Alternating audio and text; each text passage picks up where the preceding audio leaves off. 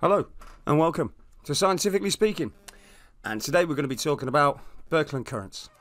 Now, I've made uh, several videos on Birkeland currents, and I've always used this lovely red and blue picture, an orange picture, and this two uh, and this blue and red picture. This picture is not my picture. I didn't put it together. The electric universe and the plasma universe scientists put this picture together. Now, let's take a closer look at it. Now, this, of course, is a different configuration of the, of the uh, same picture. I'd like you to notice on the two side pictures, at the top of it, it's got like a crown on it with three. People have been counting these as if there's somehow three strands in a Birkeland current. There isn't. You see this picture in the middle? See, this isn't a picture of a wire. This is a diagram of what's happening in the two pictures left and right. And we can see by the writing that this is why it's explained this way.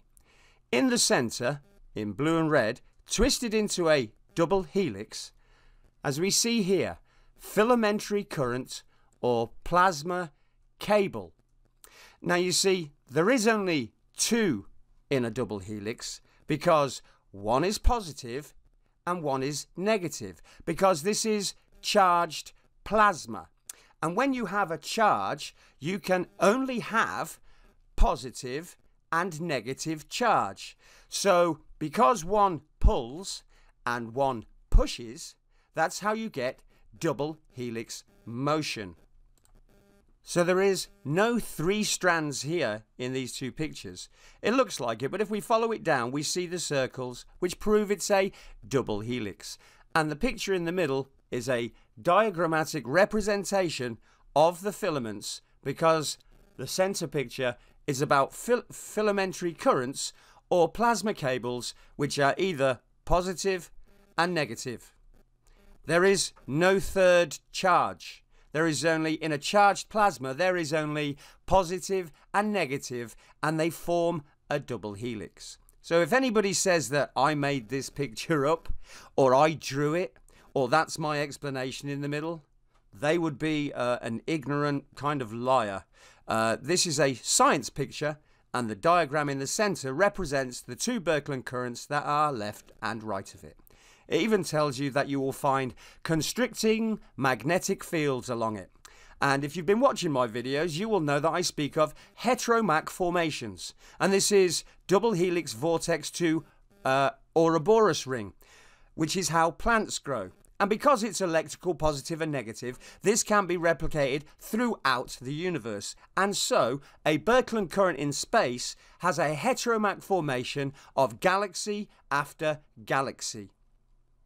Which, of course, is the same as Peratt's column.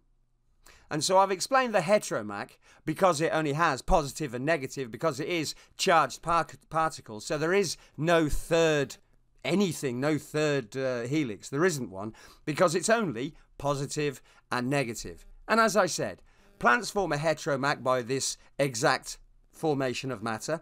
And so, because the universe is electricity and magnetism, so all galaxies are formed along a Birkeland current in a heteromach formation.